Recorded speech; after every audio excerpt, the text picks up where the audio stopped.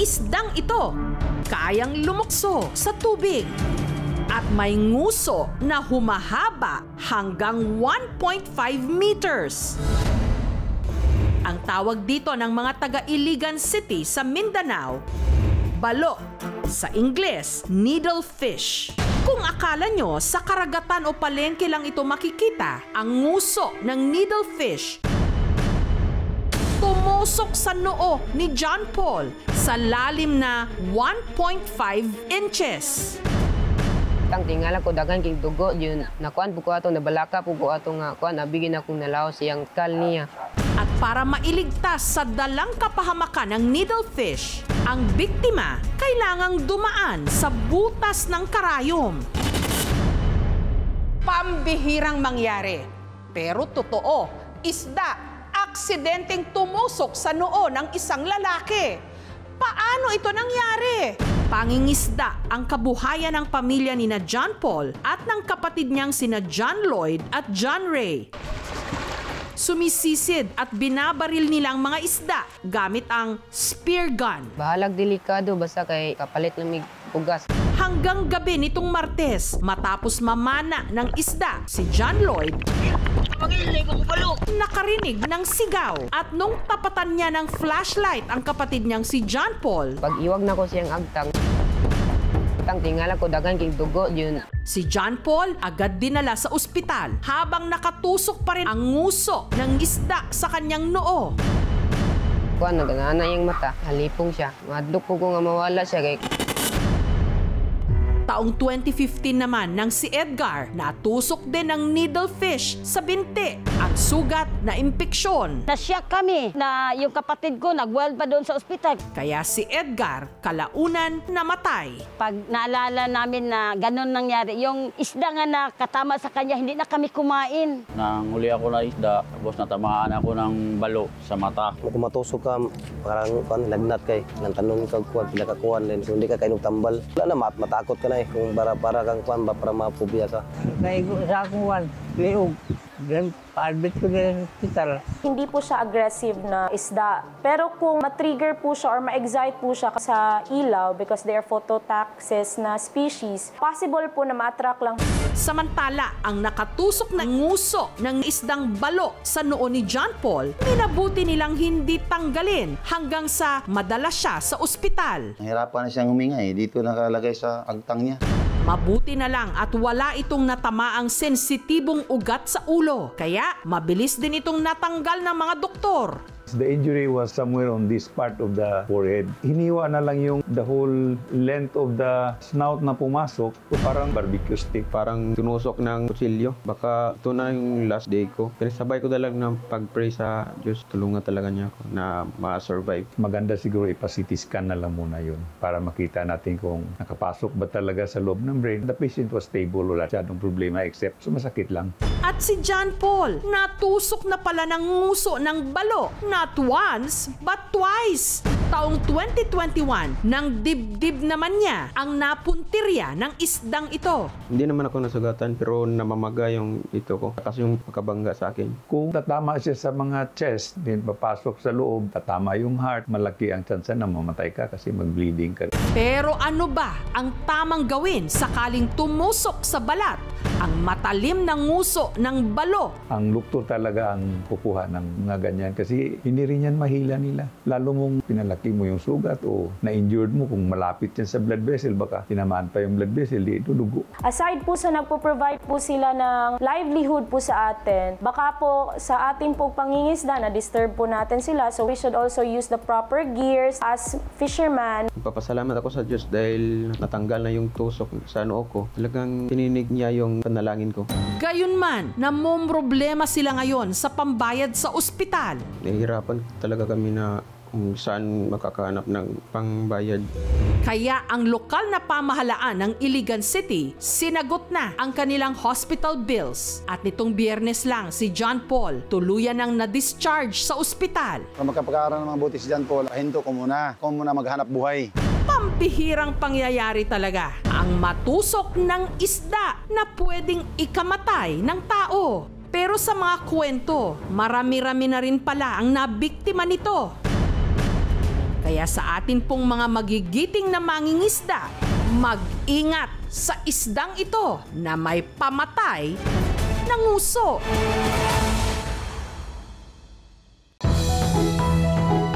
Posible pa nga kayang bumaba ang presyo ng bigas sa panahong nagmamahal pang presyo nito.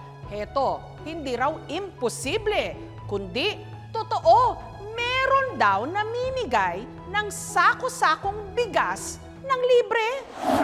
Napa-rise and shine ang mga taga-Bais Negros Oriental Nung kamakailan lang, isang truck ang nadiskaril at tumagilid sa kalsada. Ay, ramay. Na may karga pamanding sako-sakong bigas. Ang ilang mga residente umatak agad sa tumapong mga bigas. Hoy!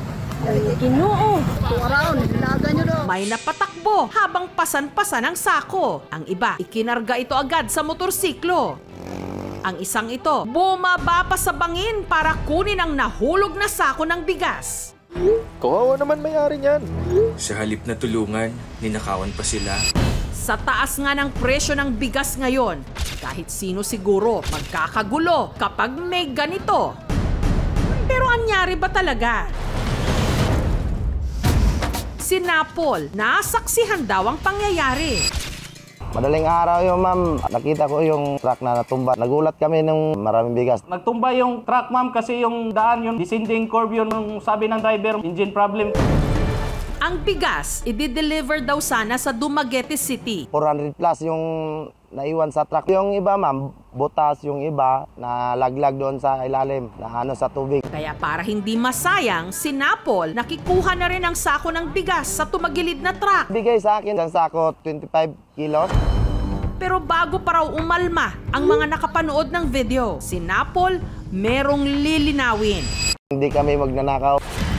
Ang bigas kasing inuwi nila, hindi nila ninakaw. Kusang loob daw itong ibinigay ng may-ari sa mga residenteng tumulong sa aksidente. Kamaramihan sa mga tao yung nakita si video, tumulong sila sa mga nadisgrasya na bigas. Ang nagnakaw yung ano, tumatakbo sila. Kami ang nag-transfer sa mga bigas, ma'am, papunta ng yung rescuer na wing van. Ang mga sako ng bigas na nagkabutas-butas at hindi na nila maibibenta pa, ang siya raw ipinauwi sa kanila. Sa naiuwi niyang isang sako, meron pa raw natira si Nanapol na 20 kilos. Malaking tulong po ito dahil mahal ang presyo ng bigas ngayon. Oh, Diyos ko! Sa taas nga ng presyo ng bigas ngayon, saan pa ba may libre? Sa pagsisimula ng klase sa bagong ano ng Jute Elementary School sa bayan ng Bonifacio sa Misamis Occidental, si Teacher Jeric nakaugalian na raw maghanda ng early morning treat sa kanyang mga estudyante. Hello! Good morning! So for today's breakfast, magbibigay po tayo ng napakasarap na pagkain. Pero bago sila papasukin sa classroom, kailangan muna nilang sabayan si Teacher Jeric sa pagsayaw at pagkanta bago nila matikman ang kanilang healthy na agahan. Pero hindi lang daw mga estudyante ang may treat.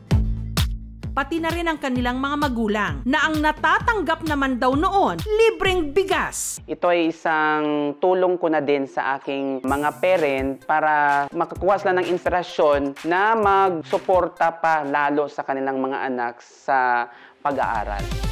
Para makatanggap ng bigas na paayuda ni Sir, kailangan lang umattend ng PTA o Parents Teachers Association meeting at game ding sumayaw kasama si Teacher Jeric. Nung una, dalawa hanggang limang kilong bigas lang ang ipinamimigay ni Teacher Jerry kada magulang. Hanggang sa ginawa na niya itong isang sako bawat isa. Anim na sako po na natatanggap namin. Malaking tulong po yan ma'am sa amin kasi mahirap kami dito at napakamahal na po ang bilihin. Ang ipinambibili raw dito ni Teacher Jerry galing sa kita sa kanyang vlogs. Kaya nakapagbigay na ako ng more or less 40 sacks. Naglo-loan ako ng pera sa bangko. So through stars na binibigay ng mga netizens ay talagang na-continue ko itong advocacy ko. Yun nga lang, dahil sa patuloy na pagtaas ng presyo ng bigas, baka huminto raw muna si Teacher Jeric sa kanyang paayuda. I'm also a breadwinner. Sana maibalik na yung dating presyo noon na mura yung bigas para sa aking mga bata. Barangay Molino 4 naman, sa Bacoor, Cavite, basta tumuntong daw ng 60 anyos, matik, may libre ng 5 kilong bigas ang kanilang senior citizens. 3 years na po namin itong ginagawa. Dati, tuwing Disyembre lang daw sila namimigay ng bigas. Pero dahil marami ang umaaray sa presyo nito, Nagulat kami sa biglang taas ng presyo ngayong Agosto. So minabuti po ng barangay na ngayon na isagawa. Sa taong ito, nasa mahigit 5,000 senior citizens ang nabiyayaan ng libreng 5 kilong bigas. Isa sa kanila ang 65 anyos na si Tatay Jaime. Sa mahal ng bigas, buti na yung dumarating ng tag isang kilo, dalawang kilo. Ang pamilya na may limang miyembro, bumibili yan ng mga 1.6 kilos. So sa halaga 56 na pesos kada kilo, 91 pesos yon ng kanyang sahod, mapupunta lang sa pagbili ng bigas. Para sa isang uh, manggagawa na hindi naman tumataas yung sahod, napakalaking pabigat sa kanya yung pagtaas ng presyo ng bigas. international market ay tumataas din talaga ang presyo ng bigas. At ito ay dahil dun sa paparating na El Nino phenomenon. Ito asahan natin na hindi basta-basta bababa yung presyo ng bigas sa mga susunod na buwan at maaring mag-extend ito sa susunod na taon. Maganda rin sana pagtuunan ng pansin yung mga long-term na solusyon dito sa agrikultura sa Pilipinas. Halimbawa, yung kakulangan sa storage facilities, dun sa tulong para sa mga magsasaka. to make sure the, the prices stay uh, within the limits that we have prescribed. I would encourage anyone who finds that uh, someone or retailer is selling at above the price ceiling, i-report po ninyo. ang uh, pag-impose ng uh, price ceiling o hangganan dun sa presyo ng bigas ay maaring magdulot ng shortages sa mga susunod na buwan. Malulugi yung marami mga nagtitinda ng bigas at kasi mahal yung bili nila ng bigas pero uh, kailangan nilang ibenta sa mas murang halaga. We are confident that the imposition of a price ceiling is only a temporary measure. We expect the rice harvest to commence soon and anticipate that other initiatives will produce the desired result. Tayong mga kababayan. Hindi bale ng walang ulam, basta't may bigas o kanin sa hapagkainan. Sana bumaba na ang presyo ng bigas sa lalong madaling panahon.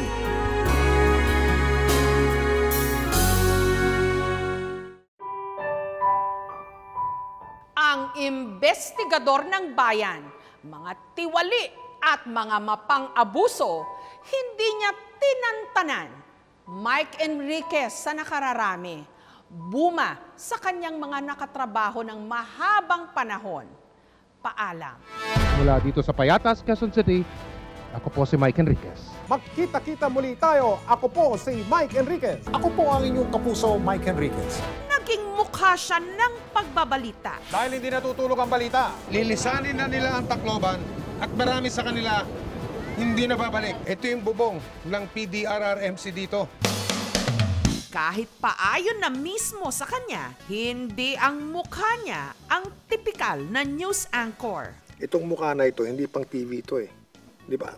Tanggap ko yun. Sarili ko ang nanay, hindi makapaniwalang sa TV ako eh. Yes, sir!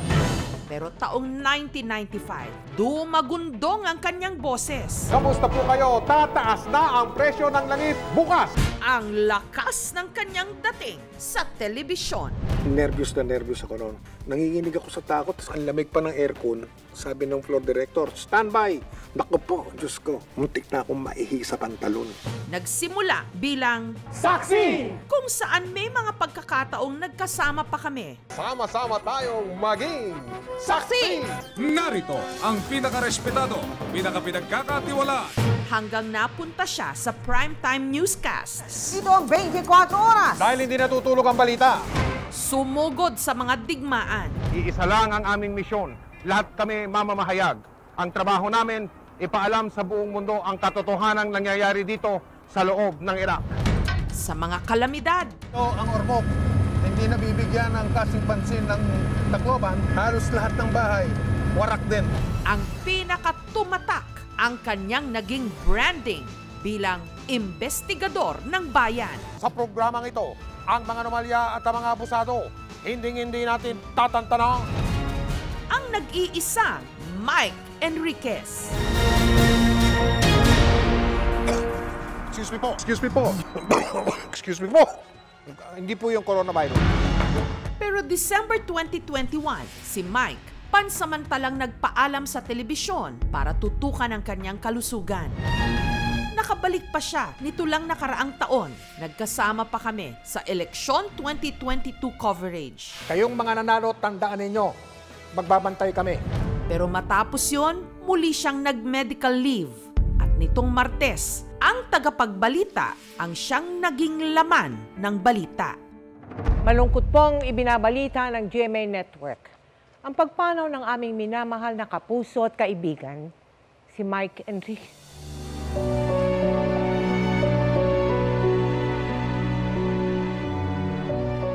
Si Mike Enriquez o Buma sa aming mga nakatrabaho niya sa edad na 71 anyos, nag-sign off na.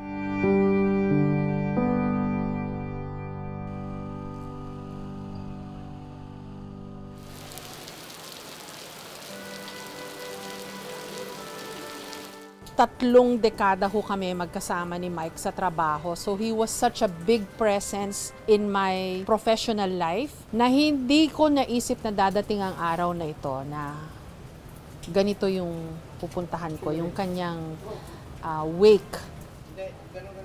Ang hirap kasing isipin na hindi na namin siya makakasama sa trabaho. Hindi na natin siya mapapanood sa TV and I need to pay my respects uh, bilang matagal niyang nakasama sa trabaho. And I also need to condole sa kanyang asawa, si Tita Babes.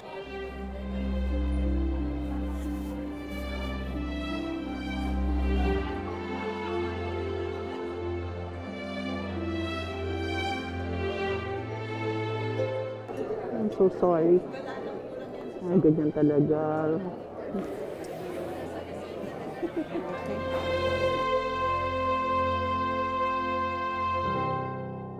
Gusto ko lang humunang sabihin na ito yung interview na hindi ko gustong gawin. na hindi sana dumating sa point na kailangan kong gawin. But I know that Buma will not forgive me if I don't do his story sa tagal ng pinagsamahan namin, Tita Babes. Pasensya ka na, but I I understand. know it's a difficult Okay time. lang, okay lang.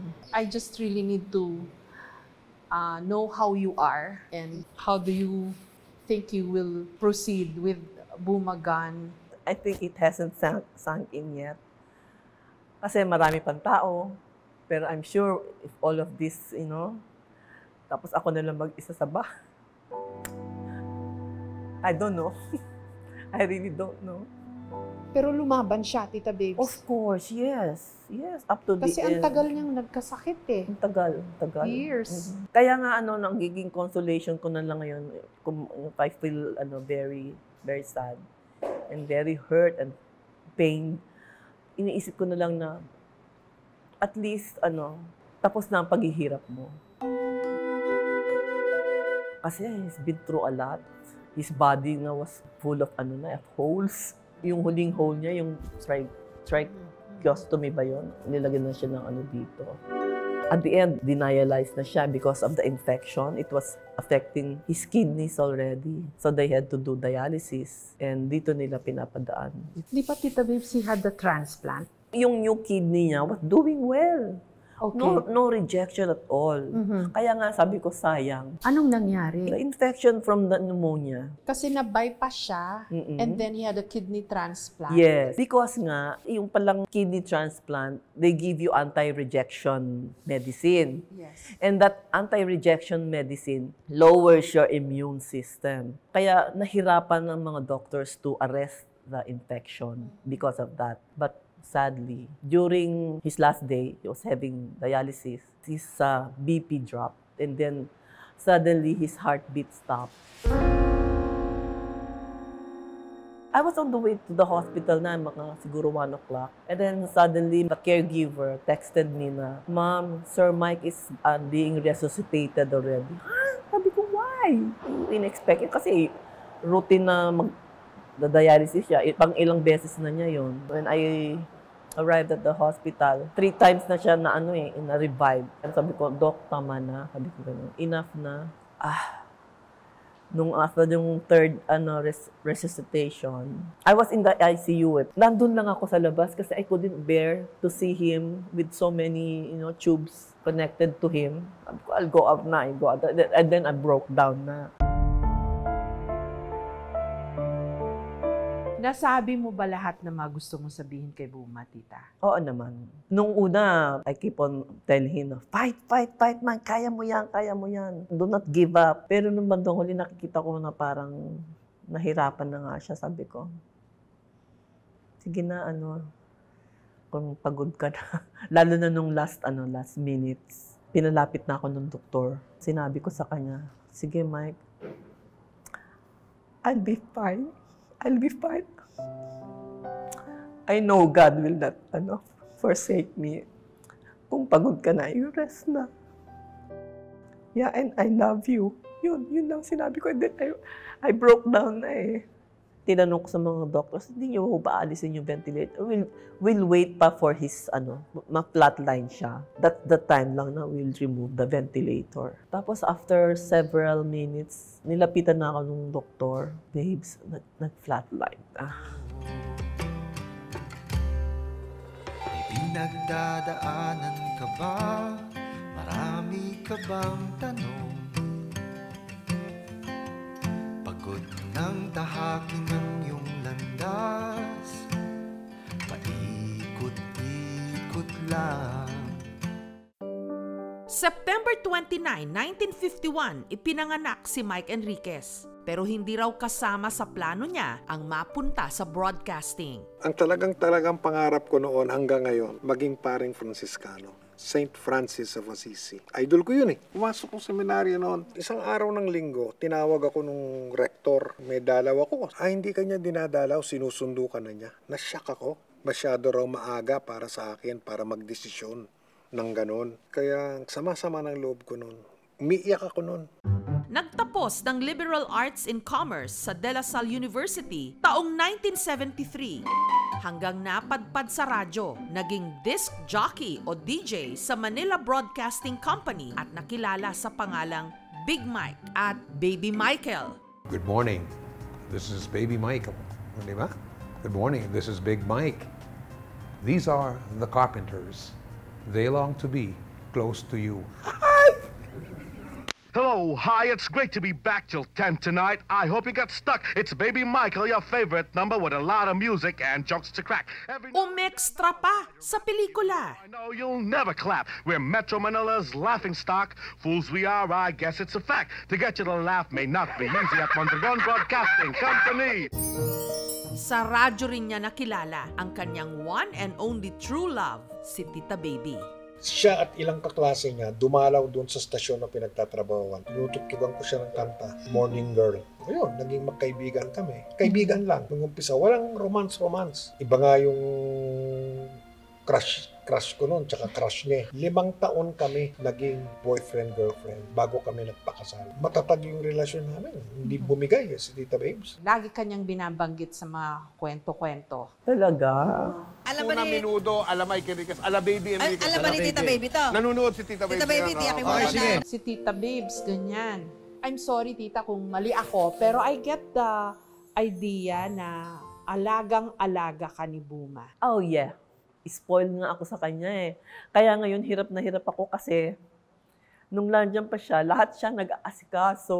Wala akong inaano. Mas sa mga pagbayad ng bills, pag-repair ng mga cars, ng car, ano, house repair. Wala, ah, wala talaga akong inaano. Ngayon, nabagsak na lahat sa akin. Kasama nyug. Ba't mo nalagyan ng nyug ang kilikili mo? Ibibingka ka mo eh. Hindi, parang kailangan ang luto niya na lang maganda. Taong 1995, nung mula radyo na ispatan ko ang kanyang talent at energy level. Nagbabalik po tayo ngayon sa Super Radio DC Read, pati na po sa number one news channel sa Pilipinas ng GMA News TV. Kaya inirekomenda ko siya na mapunta sa telebisyon. Eksklusibong report si Jessica Soho. Jessica, pasok!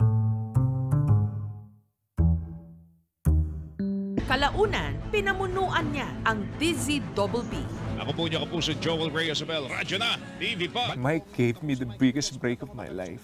Sometimes he was a serious person, no? But uh, sometimes, ano siya, ah, eskwela. Tama na, Arnold! Paulit-ulit ka na eh. Ngayon, bibing ka na yung kilikili. Nung araw, medyo uso yung laid-back na pag-newscast eh. Si Mike yung nag-introduce nung tatatatatatatatat rapid ah, newscasting. Yan ang mga may init at nagsusuligaw ng mga balita sa araw na ito na dapat lamang tunghayan sa tumitibay, pinagkakatiwalaan at walang tigil na lumanaganap na balitaan sa telebisyon. Si Mike yung talagang epitome ng Mr. News. Gustong-gusto niya ng balita. Ang natatandaan ko sa newsroom noon, pag nagkakagulo kami at nagtatakbuhan yung mga tao, because merong breaking news na kailangan ihabol, tuwan-tuwa siya, nakatawa siya dun sa gitna. Kasi he was so excited about the prospect na merong balitang ibe-break. Ganun niya kamahal yung milieu ng breaking news. Five minutes to airtime. Nung hindi pa siya newscaster, bago pa lang siya, naglalakad yan sa gitna ng newsroom. nag english english siya doon na as if nag-newscast siya. Na wala naman siyang kausap, siya lang mag-isa. Si partner ko naging malaking inspirasyon dito sa broadcast industry. Very big loss talaga siya sa GMA dahil parang he embodied so many things eh, that a journalist should be. He was always objective, he was always fierce, He was always fearless. Even skills-wise, ang galing niya mag-banter, ang galing niya sa English, ang galing niya sa Tagalog. Mabait siya eh. Wala akong natanda ang nagalit sa crew si Sir Mike. Hindi kami pinagalitan, hindi kami sinagawan niya. Si Mike ang original na sumbungan ng bayan, ang investigador. Sa lahat ng interviews niya, lagi niyang sinasabi, ano ang pangarap mo para sa mga programa mo, particularly sa investigador. And he would always say, sana darating ang panahon na sa lipunang ito, hindi nakakailanganin ng mga programang nagsusulong na ipagtanggol yung naaapi o kailangan pang manawagan para sa katarungan. Ang mga abusado at ang mga manloloko, huwag natin tatantanan. Yung public persona niya, kasi nga yung show niya, investigador ng bayan. Hindi ko kayo tatantanan. Yung mga ganyan sa nakakatakot, di ba? Very far from ano the, the true Mike Enriquez. Paano? Very ano siya, very jolly, very talkative, very lahat na oh, masayahin siyang tao.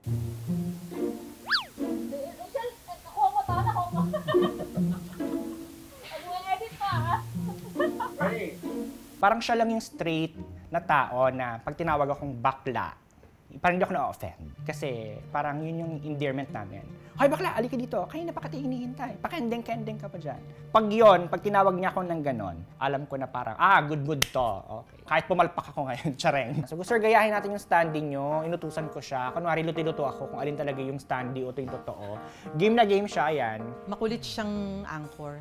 Yan yung tipong minsan may balita na merong music. Merong tugtog talaga yung nangyayari. Off-cam siya, may video na nagra-run. Bigla yung gumagano-ganon yan. Bigla nagda-drums yan sa, sa set. Meron siyang kakengko yan talaga na natural sa kanya na ang nakakakita lang, syempre kami, off-cam. Ito lang pakakataong kumain habang nagpo-programa. Kundi gutom.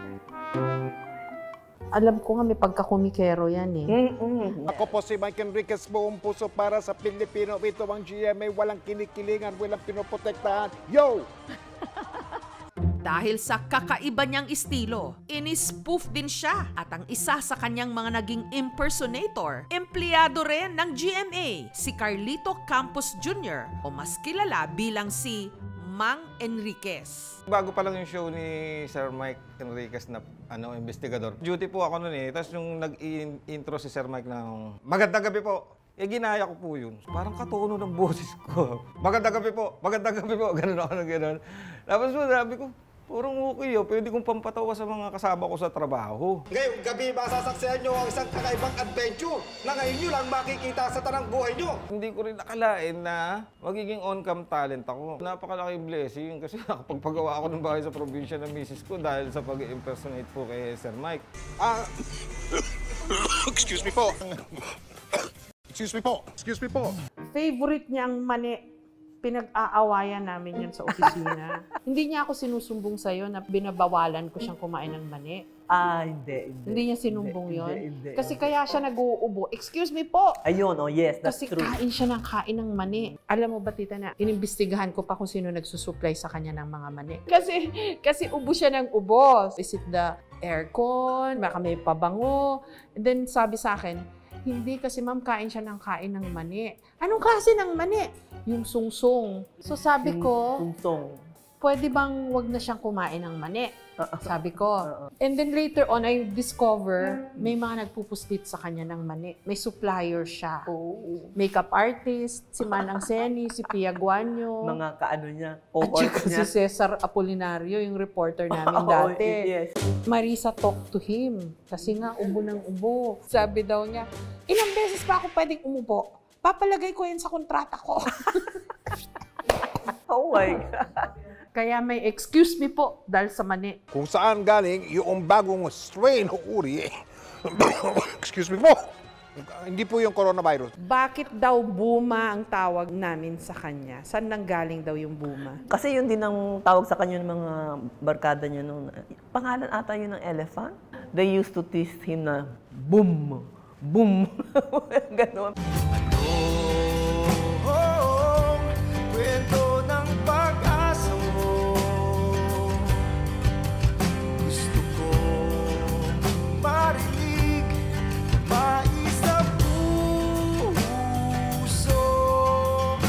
Ay, naku naman, uwi na. Hello, Oo. Fluffy. Oh, Buma, Mickey, nandiyan na ang daddy niyo. Hmm? Hindi biniyayaan ng anak sina Mike at Tita Babes. Ang itinuring nilang babies ang kanilang mga aso. He adored his dogs, yung Oh, inyong yeah. mga aso. Oh yes, yes. Especially the Buma. May aso kayo, Buma pangalan, Oo, tita? siya nagpangalan doon. Buma. Oo, Buma. Poodle yun, poodle. Poodle. Brown Poodle yun. And then may isa pa, di ba, tita? Ah, yeah. Anong yeah. breed si naman? Mickey naman, Mickey. Si Mickey. Yung Mickey was his nickname when he was small. Yung mga aso niya, pina- sinunod niya sa pangalan niya. Yes, yes. Magkamukha sila.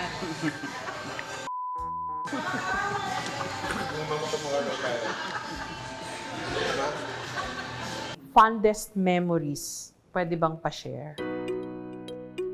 Fondest memories pag nagta-travel kami. Paano ba pag nagta-travel kayo, tita? How is Buma like? Ay, very generous. Ah, talaga? Sa bagay, sa amin din, madali yan humugot ng wallet. Naoperahan kasi ko sa appendix eh, sa financial na tulong. Yun yung hindi ko makakalimutan sa kanya. namatayan ako ng tatay. Sabi niya, okay lang, huwag kang, ano, huwag kang mahiyang mina- umiyak. Eh, okay lang naman malungkot. Kasi pagka hindi, na, na, na, ano, na huminto kang malungkot, eh, parang nakalimutan mo na sila. Ito ang sapatos niya, ni Sir Mike. Para lang tumangkad si Sir. 2 inches. White shirt White and- shirt and pants. Yun ang naiiwan niya. Hindi Basta- siya particular. Basta Maayos. yung suotin niya is maayos at malinis. Kailangan maayos ang makeup niya. Saka yung buhok niya, kailangan maayos. At yung ilong niya. Yung ilong niya, kailangan lagi. Tama ang nose line. Yeah. Ito yung pills comeback niya after ng heart operation niya. Kasi for 22 years, hindi siya umabsent. Kahit may sakit yan, papasok yan. One time, napagalitan ako niyan. Alam ko noon, may nararamdaman siya. So, hindi ko siya tinext para mag-voice over. Tapos, pinagalitan niya ako. Sabi niya, sasabihin ko sa'yo pag hindi ko kaya. Huwag mo akong papangunahan. Alam ko rin that he was actually looking forward to coming back to work. Oh, yes, yes, yes. Caregivers were telling me na he called up Attorney Goson. But then, uh, after how many days, there's a letter daw from Attorney Goson for Mike. Oh, Mike, may letter daw dito for you from Attorney Goson. Gusto mo basahin ko? Sige, sabi niya, basahin mo. By the time, hindi na niya ma-open yung eyes niya because of the cataract. Yun na ang nakalagay doon. Basta you're uh, 100% sure of yourself that you're healthy and you can do it and your doctors are give clearance na you can go back to work, you're welcome. So, tita, anong nagbibigay sa'yo ng comfort? Yung the thought nga na wala na siyang paghihirap ngayon, hindi na siya mahihirapan. Kasi ang, ang dami na niyang ano, eh, butas eh. Ang dami na niyang hirap. Dahil dito, itinuring sila ng pulisya ng mga For a guy I know that he's very afraid of injections. Hindi namin alam yun. Akala namin na matapang siya kahit sa mga medical procedure. Oops, Mike, I'm sorry. takot pala siya sa injection. Nabisto ko si Mike. Hindi siya takot sa mga tiwali at mga abusado. Pero takot siya sa injection. Yes. Sorry, Buma. Napanaginipan niyo ba siya? Hindi, hindi, hindi, Hindi yung gagawin niya sa akin kasi alam niya duwag ako eh. Ah, Hindi talaga, niya gagawin tita? niya. Sabi ko sa kanya, pag ginawa mo sa kanya, papatayin kita. Endearing qualities, bukod sa generous siya, tita. Sweet si Buma. Mm-mm, yeah. Ako ang hindi. Tita baby, kayo po wala kayong kiss kay Sir Mike? Pero, 1,000 pesos. Kaya bumala lang. No, 1,000 pesos. Ayoko nang yung public display of ano, PDA. Siya? Pero siya, gustong gusto niya yun. Pero ako ang ayaw. Eh kasi, ano eh, laking madre ako eh. May bibigay kami sa'yo, ha? Hiningi ko pa to sa GMA. Ah, yan yung sinasabi mo. Ah, okay, ang ganda. Ayan, tita. Ayan, sige. Oh, pwede na tayo mag-PDA ngayon. pwede, pwede na tayo mag-PDA. Payag na ako. Ang gwapo, tita, di ba? Oo. Oh. Ayan, oh, holding hands kami. Oo nga, holding hands while walking. Buma, peace. Ayan, my day. My day for tonight.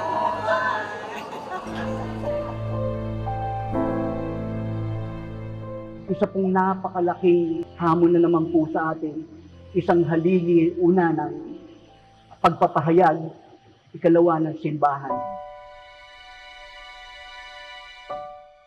Nitong biyernes, inalala ng GMA Network ang mga naiambag ni Mike sa industriya. Buma, papabaunan kita ng mani. Ito yung aking, siguro pagbawi sa pagbawal ko sa'yo ng pagkain ng mani sa set. On behalf of the investigator staff and managers who called Buma, not just Buma but our investigador, hindi ko naiisa-isahin ang lahat ng may sakit, namatayan, nasunugan, na-depress, na heartbreak, pati yung mga kulang lang ng pera for travel or for date, binibigyan po niya lahat yun. Marami siyang tinulungan, marami kami. Paalam, Mike at maraming maraming salamat sa paghahatid ng balitang walang kinikilingan, walang pinoprotektahan, walang kasinungalingan, serbisyo, totoo lang.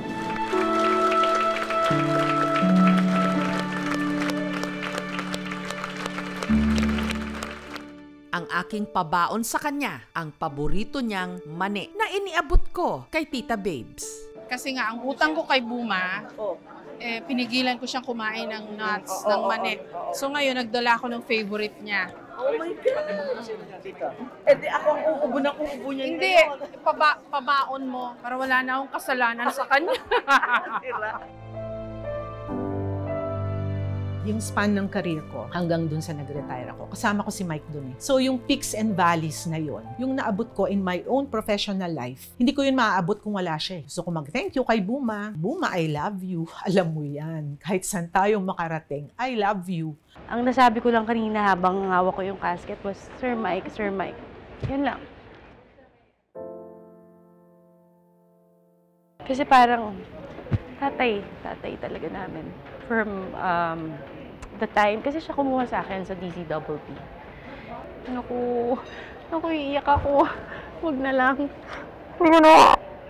Basta mamimiss ko siya.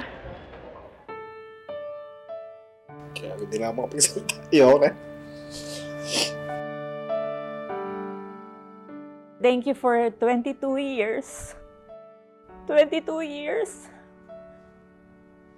na naging tatay sa akin, sa amin.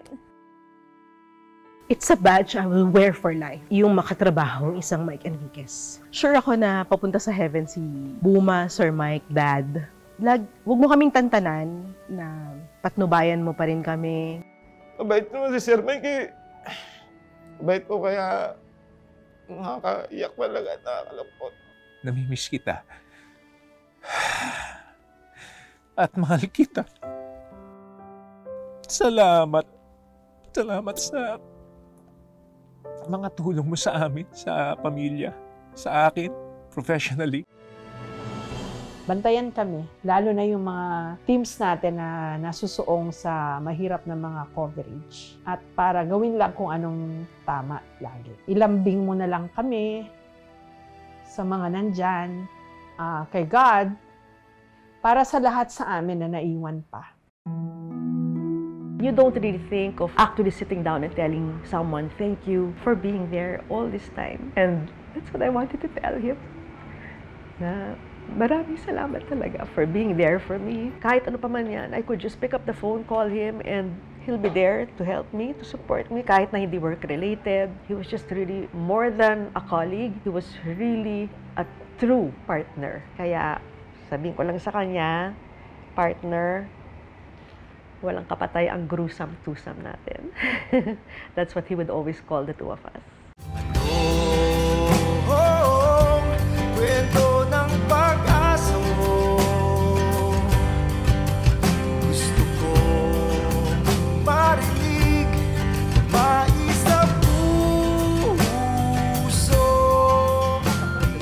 Sabi nila, mahahaba ang mga buwan, pero mabibilis ang mga taon. Dahil hindi natutulog ang balita. Mahigit limampung taon ang iginugol ni Mike Enriquez sa radyo at telebisyon. Hindi namin kayo tatantanan. Pero kung babalikan ngayon, parang napakaikli lang pala ng panahong yun. Kung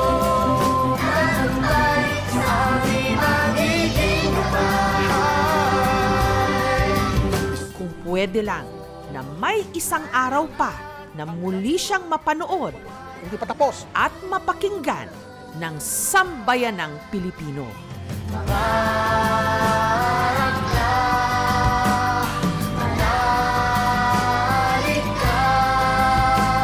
Sa kwento ng pag-asa mo Maraming Pilipino Mga kapuso, uuwi na po ako. Paalam at maraming salamat, Mike Enriquez. Maraming salamat po sa inyong pagtitiwala. Bye-bye!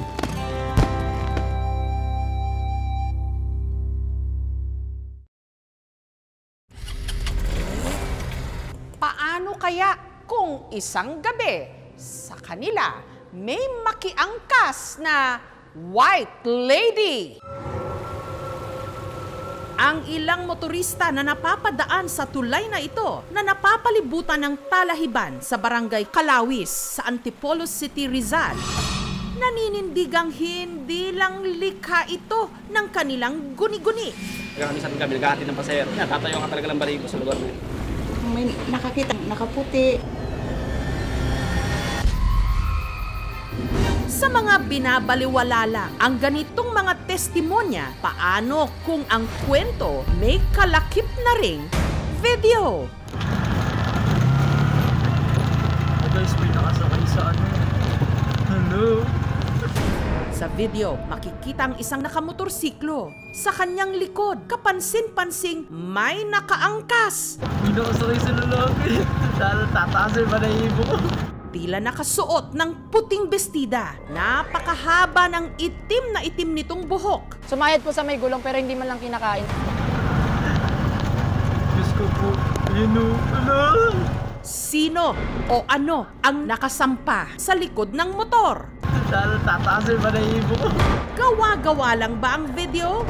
Pero paano rin kung ito'y totoo? Ano wala? Ayoko na.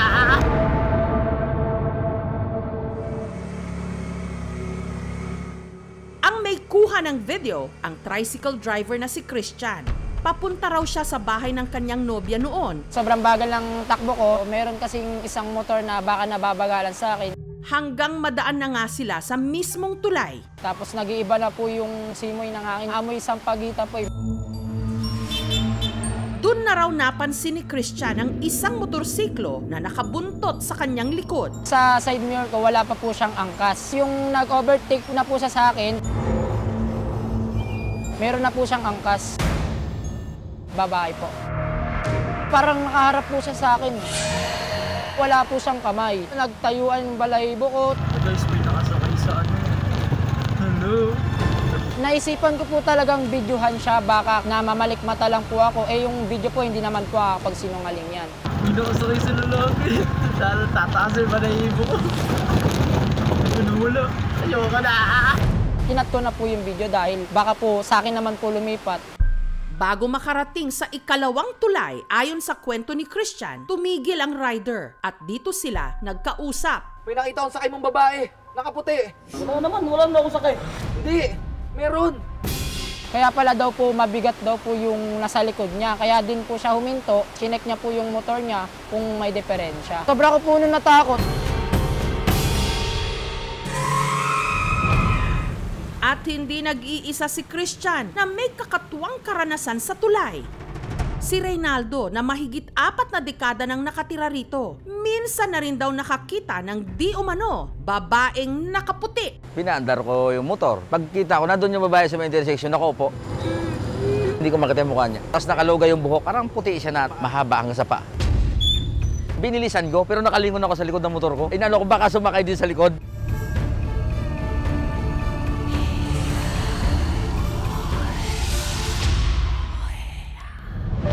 Si Bench naman, hindi rin makalimutan hanggang ngayon ang nangyari nung minsang nasiraan siya ng motor sa tulay. Dilim po sir, wala po kasing ilaw eh.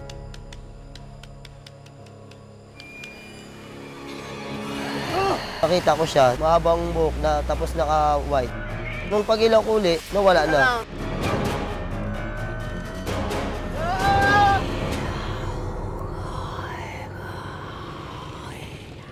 Ang mga residente, kanya-kanya tuloy haka-haka sa di umano nagpapakita sa tulay. May mga patay daw na tinatapon dito. Parang gusto lang siya maalala. Pero may iba ring nagdududa sa video ni Christian. Lakas ng tama mo, matulog ka na. Nice content. Halata namang scripted. Tapos tumatawa. Mga nagsasabi kung gawa-gawa ko lang po yung video na yon. Sila na po bahala kung anong gusto nilang iparating. Basta yung ano pong na-experience ko ngayon, yun po talaga yung nakita ko at yung alam ko sa sarili ko na yun yung totoo po. Ayoko na.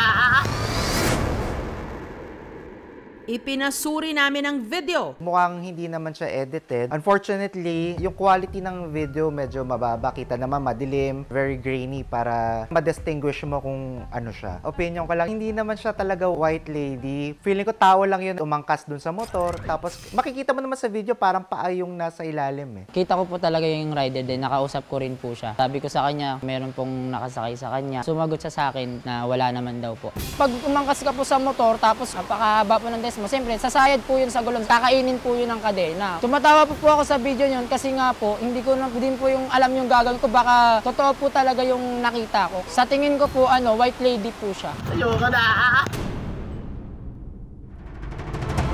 Kinatatakutan man ngayon ang tulay ng Binayoyo. May isang mangangahas na baybayin din ang kahabaan ng madilim na kalsada. Sa hangaring mabigyang liwanag ang misteryo. Walang iba kundi ang paranormal researcher na si Ed Calwag Hindi ako pumunta rito para makipag-away. Simula dito, maglalakad na lang tayo para mas maramdaman natin kung ano man yung meron dito sa lugar Opo, opo. Pagkababa pa lang ng motor, si Ed hindi na mapakali.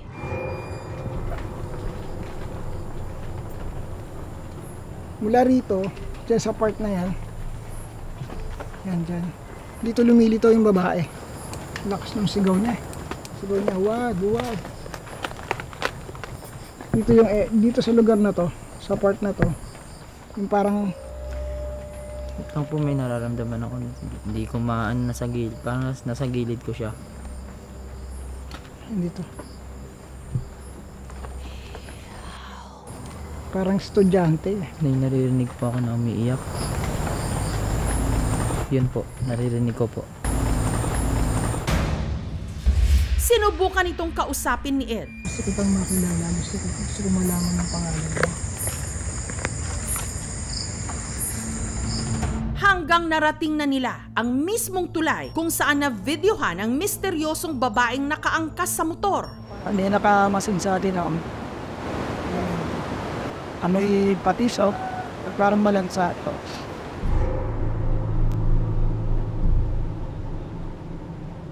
Ganito lang gagawin natin ha. Basta huwag ka lang bibitaw sa akin. Pakita ko lang sa'yo ano yung nang- nangyari. At then, saan lugar kami? May bahay na bahay na ano, walang lubong, walang ano, ba- baler. Uli ka na, umaalis na tayo. Alis na tayo. tama na, tama na. Huwag ka nang, huwag kang lilitaw. Huwag kang lilitaw. na. Huwag kami dito, hindi ka makaka... Tama na. Diba? Very. Ito ulit. Gising na. Tama na. Okay. Ay, ano. Christian, tama na. Gising. Gising. Saluhin nyo to, saluhin nyo to. Tao po, tao, tao. Pahing tao dito. Saluhin nyo to. Ayaw dito. Ayaw dito. Ayaw dito. Gising na, Christian. Gising na. Tama na. Relax. Relax na, relax na. Lalay, lalay ha. O, paano nga ito? Tao, tao. Okay, nalaano lang siya. Kasi na, naramdaman niya kasi yung lunod. Relax. Relax lang, relax.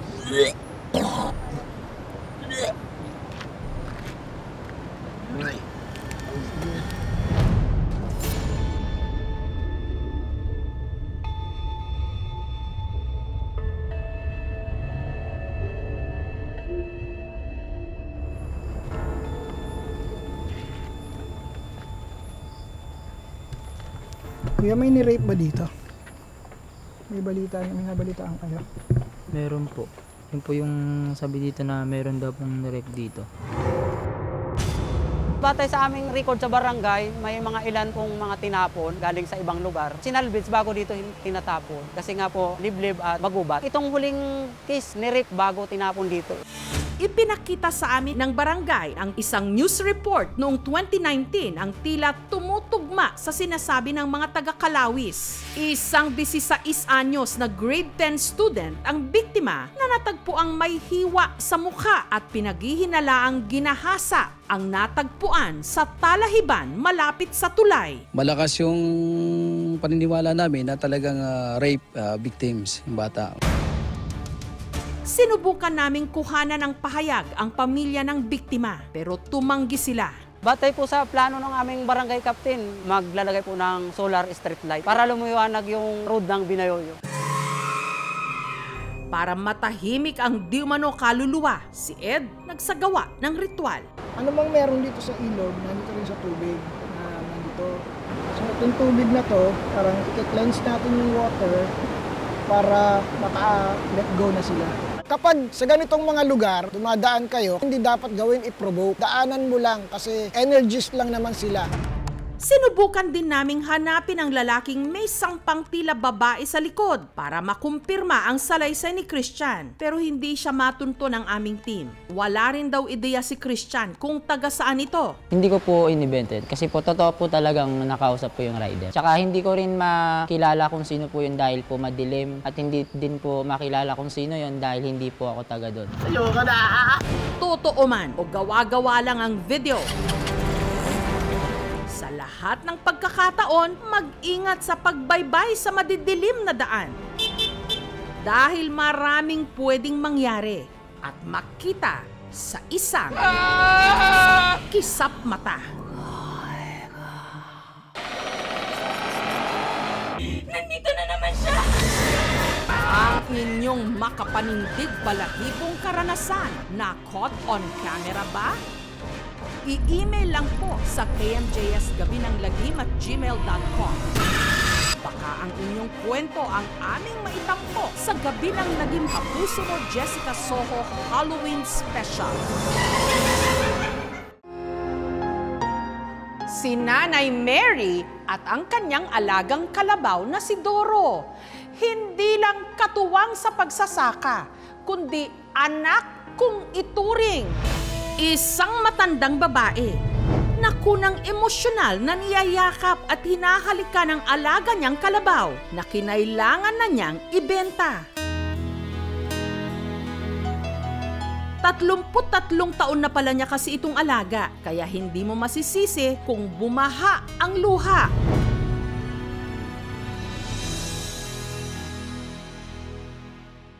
Taga Rodriguez Rizal ang lola sa video. Si Nanay Mary Jane, makalipas ang limang araw nung ibenta niya ang kanyang kalabaw na nagngangalang Doro, ang matanda, emosyonal pa rin. Nakiusap ako sa kanya na sumakay ka na ro. Sabi salamat sa ilang taon mong serbisyo sa amin. Para lang siya makasakay, Inayakap ko siya at binulungan ko sa sige, magpakabait ka lang doon sa patutunguhan mo. Yun lang, kaya lang siya nakaakyat talaga noon sa sasakyan. Nakauiyak ng iyak.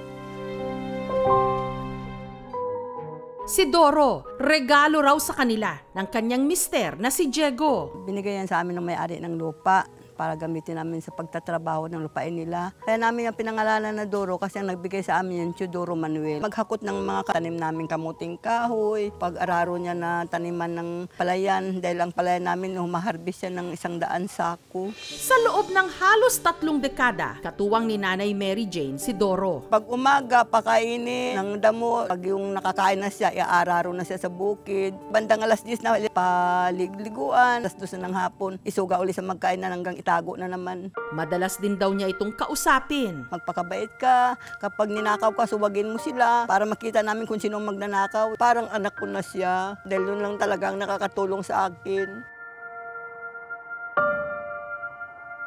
Lahat sila yan, nakasakayan sa kalabaw. Ligo sila sa ilog, kasama nila si Duro. Kilalang kilala nga si Doro sa kanilang barangay. Yung nakawala siya nung isang gabi namin hinahanap siya, hindi namin siya nakita. Dahil kilalang kilala dito sa Makabod, yan si Duro. Tinali ng isang namin kakilala. Pero kung meron man daw best friend si Doro, walang iba kundi ang mister ni nanay, si Tatay Diego. Kung kakain si tatay, tawagin niya si Duro, kain na tayo Duro. Pag nalasing, uuwi siya. Pag nahulog siya sa karita, sabi niya kay Duro, hintay, nahulog ako. Hihinto yan si Duro, pasakayin lang yan muna, lakad na naman sila pauwi ng bahay. Pati nga raw nung inatake sa puso si Tatay Diego noong 2019, kasama si Doro sa mga tumulong. Nung na-emergency si Mr. noon, si Duro ang humila sa kanya hanggang sakay ng ambulansya. Nakarating si Mr. sa ospital, wala na daw buhay. At bago raw binawian ng buhay si Tatay Diego, meron siyang kabilin-bilinan. Ingatan siya, laging pakainin at asikasuhin. Huwag ko raw ibibinta si Doro kahit na tumanda na siya at ano, kung sino man sa amin mauna, pangpunila namin si Doro. Pero kahit kayod kalabaw daw silang mag-anak sa pagtatrabaho, tila mailap pa rin ang swerte. Meron akong diabetes, meron akong high blood na stroke pa ako.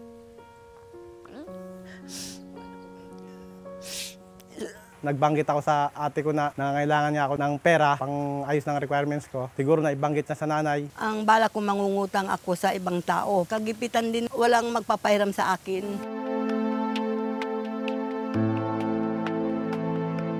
Kaya labag man sa kanyang kalooban ang naisip na solusyon ni Nanay Mary Jane sa lahat ng kanilang mga problema, ibenta si Doro. Naghihinayang ako dahil sa bait niya nga. Pag naalala ko yung asawa ko na ano ko lang si Duro na ikaw na ang katuwang ko sa hanap buhay. Nitong August 24, nakahanap na si Nanay Mary Jane ng buyer at naibenta nga nila si Doro sa halagang 68,000 pesos. Nagpapasalamat ako kay Doro dahil hanggang sa huli, natulungan pa rin ako doon sa halaga na naiabot sa akin ng nanay ko. Malaking kaluwagan na rin po kahit papano dahil makakadagdag nga po sa tindahan at makabayad sa ibang utang namin sa araw-araw. Gayunman, si Nanay Mary Jane, ang isipan, pirme pa rin na kay Doro. Hindi niya makalimutan ang kanyang alaga. Nanap po siya, akala ko doon pa siya nakatali. Malungkot dahil wala na akong babatakin na kalabaw. Nagsisisi ako na ibenta dahil ngayon. Ngayon nga, wala na siyang ako katuwang sa paghanap buhay. Pero nasa na nga ba si Doro? Iniisip ko lang, kawawa siya. Pag naibenta ko sa ibang tao, dahil baka katayin. Buhay pa kaya siya? Kumusta naman po si Doro? Nasaan po siya ngayon? Ah, si Doro? Ang hingal kalabaw na pakikipaghabulan ni Lola Mary Jane para muling makita si Doro. Gusto ko sanang maibalik si Doro para yung pag-iyak ko araw-araw mahinto na. Dahil parang mamamatay na ako pag hindi ko makita si Doro. Sarap! Ay, ako Sa aming pagbabalik.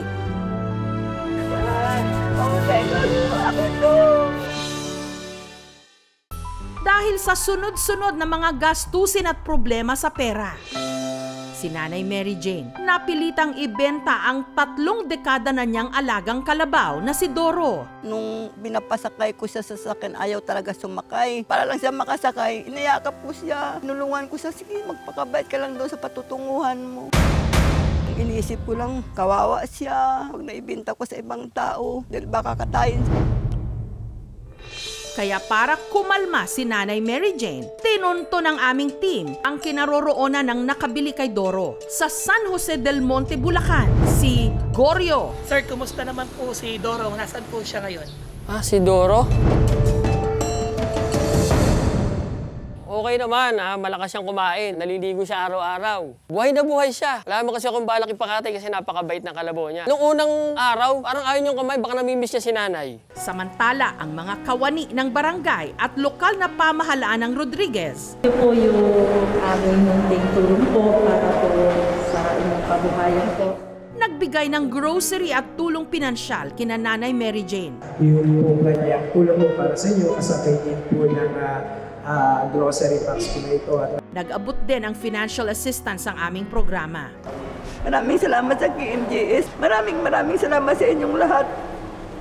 Minabuti na rin ang aming team na ipa-check up si Nanay. Una pong pansin na pansin ay yung goiter po ni nanay. Pero base po sa history at physical examination po niya, asymptomatic po yung goiter po ni nanay. No? Samantala, dahil batid ni Gorio na nangungulila si Nanay Mary Jane sa dati niyang alaga, sa araw na ito, pinahintulutan niyang muling makita ni Doro ang original nitong amo na si Nanay Mary Jane. Nay, kumusta? Ito yung, ito yung mabait kong bayan. Promise ko sa'yo, di ba, hindi natin kakatayin si Doro? O, di ba? Gusto mo siya makita? Gusto ko nga makita. Andito si Doro, buhay na buhay. Sarap! Ay, ako talaga. Alam mo, Mario, mahal-mahal ko ito. Eh, kaya nga sabi ko sa'yo, hindi ko kakatayin, di ba? Ano, kamusta Alam mo naman yun eh, oh. Ah, Kamusta ikaw? Ako to.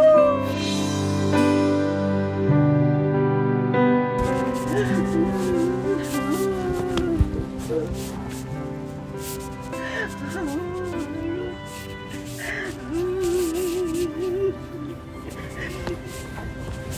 sa Montalban. Bakit na yung mata mo, ah? Ano ka? Ano? Oo naman, ulo mo, Nay. Ulo mo, Nay. Masayang masaya ang puso ko dahil nakita ko na si Doro. Si Nanay nanawagan na may makatulong sa kanyang matubos ang kanyang alaga. May awa kayo sa akin. Gusto ko sanang tubusin si Doro para mahinto ng pag-iyak ko araw-araw. Kahit nasapan ako ng kain, naiiyak ako dahil namimiss ko nga si Doro. Parang awa nyo na, tulungan ninyo akong makulikta ang halagang kailangan ko pantubos kay Doro. Kailangan mayroong tulong na gagawin ng ating pamahalaan para doon sa mga maliliit na magsasaka para naman sila ay hindi mukhang nagigiging masyadong kaawa-awa. May mga programa na ang gobyerno, yung tinatawag na National Rice Program at ang programa ng pambansang industrialisasyon, dalawa po yan na mahalagang rekisitos, ang tunay na reforma sa lupa at programa para sa pambansang industrialisasyon para sa tunay na pag-unlad ng ating pambansang ekonomiya. Masaya ako at tuwang-tuwa. Hindi na ako iiyak araw-araw. Maibalik lang sa akin si Doro. Yun lang ang pangarap ko talaga. Alam naman ng lahat yan na ito talaga ang aking bunsong anak, Doro. Minsan naiisip ko, ang bait talaga ng Panginoong Diyos. Hindi niya lang tayo nilikha, binigyan niya pa tayo ng mga hayop na hindi lang makakatuwang sa paghahanap buhay, kundi makakasama rin sa hirap at ginhawa. Thank